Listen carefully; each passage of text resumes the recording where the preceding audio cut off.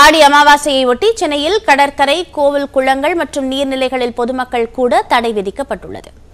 Corona virus பரவலை கட்டுப்படுத்தும் நோக்கில் அதிகளவு பொதுமக்கள் ஒரே இடத்தில் கூடுவதை தவிர்க்க வரும் இருபத்தி மூன்றாம் தேதி வரையில் உள்ள வெள்ளி சனி மற்றும் ஞாயிற்றுக்கிழமைகளில் அனைத்து மத வழிபாட்டு தலங்களிலும் பக்தர்கள் தரிசனத்திற்கு தடை விதிக்கப்பட்டுள்ளது. சென்னையில் பொதுமக்கள் அதிகம் கூடும் ஒன்பது இடங்களில் கடைகள் வணிக வளாகங்களை மூட மாநகராட்சி உத்தரவிட்டுள்ளது.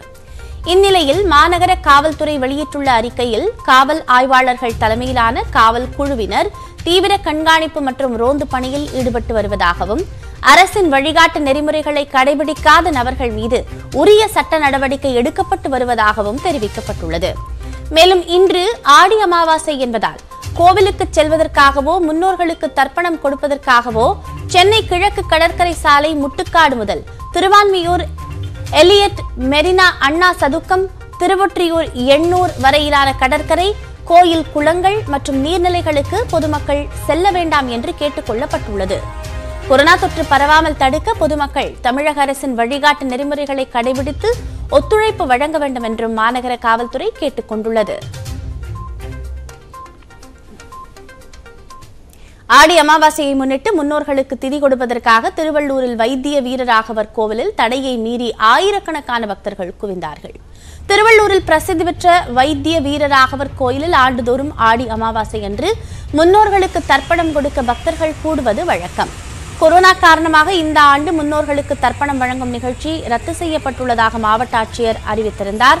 இந்த தடை உத்தரவையும் மீறி சென்னை காஞ்சிபுரம் வேலூர் உள்ளிட்ட வெளி மாவட்டங்களில் இருந்தும் திரளான பக்தர்கள் நேற்றிரவு முதலே கோவிலுக்கு படையெடுத்தார்கள்.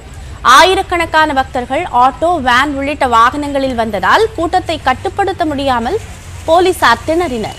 கோயில் வளாகத்தில் தங்க அனுமதி மறுக்கப்பட்டதால் மழையையும் பொருட்படுத்தாமல் பேருந்து நிலையம் வணிக வளாகங்கள் மார்க்கெட் பகுதி என கோவிலை சுற்றி பக்தர்கள் இரவு முழுவதும் காத்திருந்து முன்னோர்களுக்கு தர்ப்பணம் கொடுத்தனர். ஒரே இடத்தில் ஆயிரக்கணக்கானோர் முகக்கவசமின்றி தனிமனித இடைவெளியையும் கடைபிடிக்காமலும் குவிந்ததால் தொற்று பரவும் அபாயம் ஏற்பட்டுள்ளது.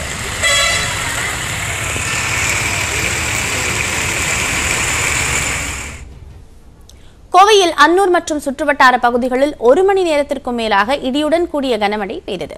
கோவை உள்ளிட்ட பல்வேறு மாவட்டங்களில் அடுத்த சில நாட்களுக்கு கனமழை பெய்யும் என வானிலை மையம் அறிவித்திருக்கிறது. இந்நிலையில் கோவை மாவட்டம் அன்னூர் மற்றும் சுற்றுவட்டார பகுதிகளில் இடியுடன் கூடிய கனமழை பெய்தது.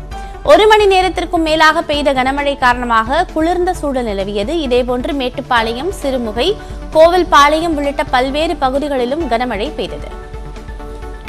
தஞ்சையில் நேற்றிரவு ஒரு மணி நேரத்திற்கு மேலாக பலத்த மழை கொட்டி தீர்த்தது. இதனால் மேல வீதி வடக்கு வீதி பழைய பேருந்து நிலையம் உள்ளிட்ட இடங்களில் தண்ணீர் பெருக்கெடுத்து ஓடியதால் வாகன ஓட்டிகள் சிரமத்திற்கு ஆளாகினர் கடைகளுக்குள் மழைநீர் புகுந்ததால் வியாபாரிகள் சிரமம் அடைந்தனர் இதேபோன்று திருவையாறு பாபநாசம் கும்பகோணம் திருக்காட்டுப்பள்ளி உள்ளிட்ட இடங்களில் மழை பெய்தது. தஞ்சையில் குறுவை சாகுபடி பணிகள் நடைபெற்று வரும் நிலையில் இந்த மழையால் விவசாயிகள் மகிழ்ச்சி அடைந்திருக்கிறார்கள்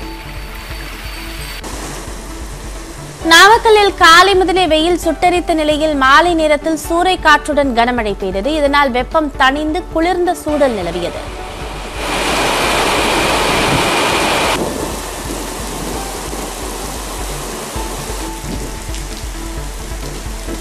திண்டுக்கல் மற்றும் சுற்றுவட்டார பகுதிகளில் அரை மணி நேரத்திற்கு மேலாக சாரல் மழை பெய்தது. இதேபோன்று வேலூர் மாவட்டத்தில் காட்பாடி லத்தேரி கேவிக்குப்பம் உள்ளிட்ட இடங்களில் பரவலாக மழை பெய்தது.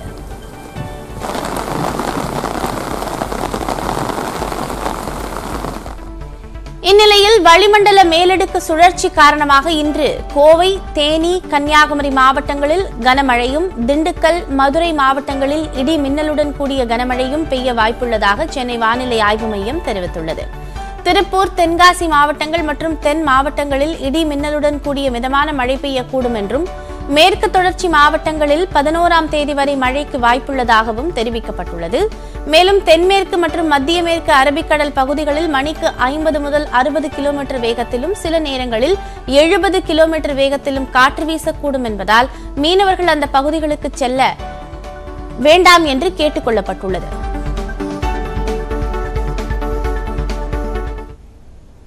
கோவை மாவட்டத்தில் அரசு அலுவலகத்தில் சாதிய தீண்டாமை கொடுமையால் அரசு அலுவலரை காலில் விழ வைத்த கொடுமை அரங்கேறியுள்ளது. இதுகுறித்து மாவட்ட எஸ்பி வருவாய் அலுவலர் ஆகியோர் விசாரணை நடத்தினார்கள். விவரங்களை பார்க்கலாம்.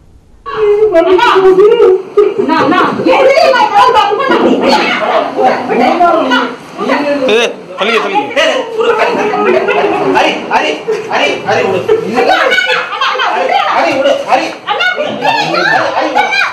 கிராம நிர்வாக அலுவலகத்தில் அடாவடி செய்து அத்துமீறலில் ஈடுபட்டவரை தட்டி கேட்ட கிராம நிர்வாக அலுவலரை காலில் விழுந்து மன்னிப்பு கேட்கச் சொல்லிய கொடுமையான காட்சிகள் தான் இவை.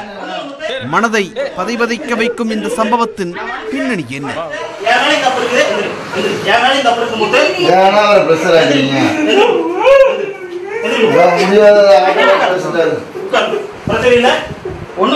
இப்போ.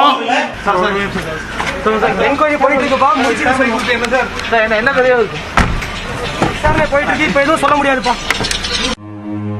கோவை மாவட்டம் அன்னூரை அடுத்த ஒட்டர்பாளையம் கிராமத்தில் கிராம நிர்வாக அலுவலராக கலைச்செல்வி என்பவர் பணியாற்றி வருகிறார். இவருக்கு உதவியாளராக அதே ஊரை சேர்ந்த முத்துச்சாமி என்பவர் பணியாற்றி வருகிறார். கடந்த வெள்ளிக்கிழமை அதே பகுதியைச் சேர்ந்த கோபால்சாமி என்பவர் பட்டா சரிபார்ப்பிற்காக கிராம நிர்வாக அலுவலகத்திற்கு வந்துள்ளார். எந்த ஆவணமும் முறையாக எடுத்து வராத கோபால்சாமியை கிராம நிர்வாக அலுவலர் கலைச்செல்வி முறையாக ஆவணங்களை எடுத்து வந்து இணையத்தில் பதிவேற்றிய பிறகு நேரில் வாருங்கள் என்று அறிவுறுத்தியுள்ளார். ஆனால் இதை கொஞ்சமும் காதில் வாங்கிக் கொள்ளாத கோபால்சாமி கிராம நிர்வாக அலுவலருடன் வாக்குவாதத்தில் ஈடுபட்டுள்ளார். எகிரி எகிரி பேசிய கோபால்சாமியை அதிகாரியிடம் ஆவேசமாக பேச வேண்டாம் என்று அமைதியான முறையில் அமர்ந்து பேசுங்கள் என்று சொல்லியுள்ளார் அலுவலக உதவியாளர் முத்துச்சாமி. ஏற்கனவே முத்துசாமியும் கோபால்சாமியும் ஒரே கிராமம் என்பதால் இருவருக்கும் சாதி ரீதியிலான பிரச்சனை இருந்துள்ளது.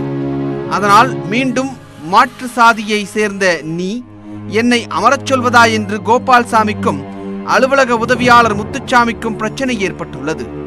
ஒரு கட்டத்தில் அலுவலக உதவியாளர் முத்துச்சாமி கோபால்சாமி காலில் விழுந்து மன்னிப்பு கேட்டுள்ளார் விடு. சரி,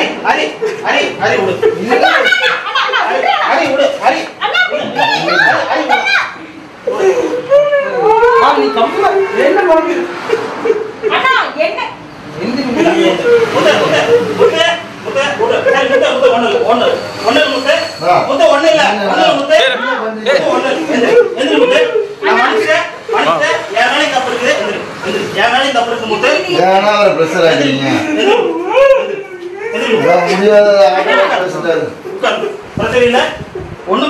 இப்போ-. இந்த விவகாரம் அன்று இரவே அன்னூர் போலீசாருக்கு புகாராக சென்ற நிலையில் இரு தரப்பையும் அழைத்து பேசி முடித்து சமாதானம் செய்து வைத்துள்ளனர். ஆனால் முத்துச்சாமி காலில் விழும் வீடியோவும் நடந்த சம்பவம் தொடர்பாக அவர் ஒருவருடன் பேசும் ஆடியோவும் இணையத்தில் வெளியாகி அதிர்ச்சியை ஏற்படுத்தியது. வீடியோ வைரலானதால் மீண்டும் பிரச்சனை வெடித்துள்ளது. சம்பவம் தொடர்பாக மாவட்ட ஆட்சியர் சமீரன் உத்தரவை அடுத்து மாவட்ட வருவாய் அலுவலர் லீலா விசாரணை மேற்கொண்டார்.